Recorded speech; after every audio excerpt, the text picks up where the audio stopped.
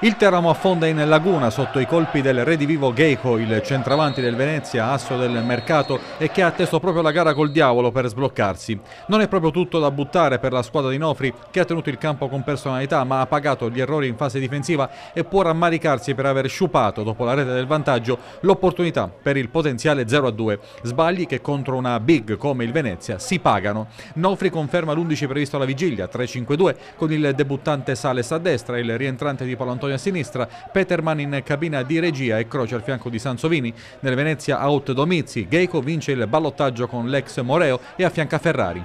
In avvio di gara il Venezia prova a spingere sull'acceleratore con alcune sortite che vedono protagonista lo scatenato Marsura, ma il Teramo non sta a guardare e al ventesimo si rende pericoloso con la girata da buona posizione di Di Paolo Antonio che saggia i riflessi di Facchin. L'estremo lagunare però nulla può al ventitresimo sul tiro di Carlo Ilari dal limite, un sinistro a giro che è una meraviglia, palo rete e conclusione dunque imparabile per Ilari e il primo gol in maglia biancorossa.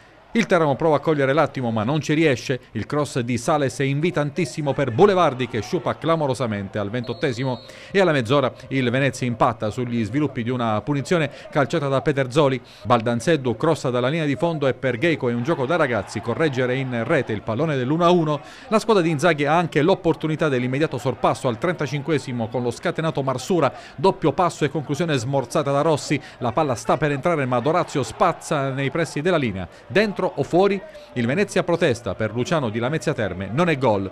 Prima dell'intervallo ancora Venezia pericoloso con la punizione di Pederzoli e traversa piena.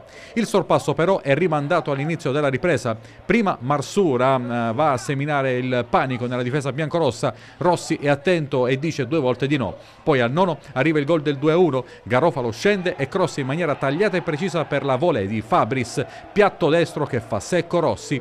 Nofri inserisce Scipioni e Petrella per Sales e Croce e i due si fanno subito notare. Petrella scalda i pugni di Facchin, poi dalla distanza tenta anche Scipioni e l'estremo del Venezia stavolta interviene a mani aperte. Il Teramo attacca, ma il Venezia a colpire di rimessa a 9 minuti dalla fine. Fabris dalla destra fa partire un traversone, Geico controlla con il petto e incrocia perfettamente col sinistro. Gran finalizzazione per l'ex bresciano che chiude la partita. Prima del triplice fischio Facchin si esalta ancora sulla conclusione ravvicinata di Boulevardi e blinda il 3-1. Un'altra trasferta amara dunque per il Diavolo, la cui classifica piange dopo la prima sconfitta dell'Eranofri, 7 punti e piena zona play-out.